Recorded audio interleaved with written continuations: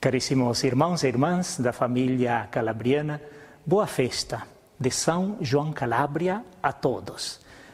Preparamos esse dia da celebração da festa de São João Calabria, percorrendo o nosso caminho e o seu convite, que sempre através das suas cartas, através eh, das suas palavras, através da sua vida, ele nos deixou.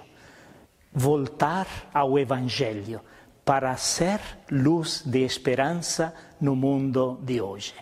E como nós podemos ser luz de esperança? Podemos ser luz de esperança vivendo uma fé prática.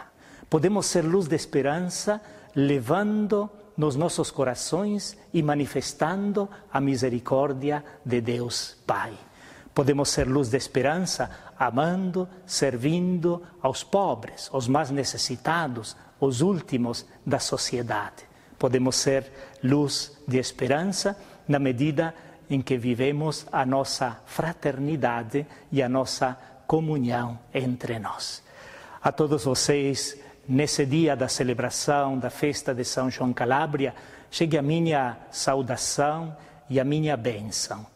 Hoje, na celebração, queremos aqui na Casa Mãe, no momento de abençoar a cidade e todo o mundo com as relíquias de São João Calabria, essa bênção possa chegar a cada um de vocês, às suas famílias, a todos nós, religiosos, religiosas, leigos, que fazemos parte desta grande família.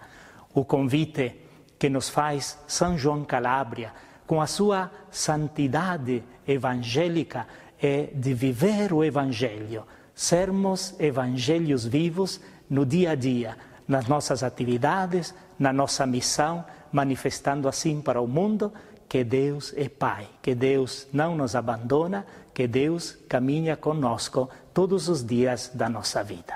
A todos vocês, a minha saudação, o meu abraço fraterno e a bênção por intercessão de São João Calabria.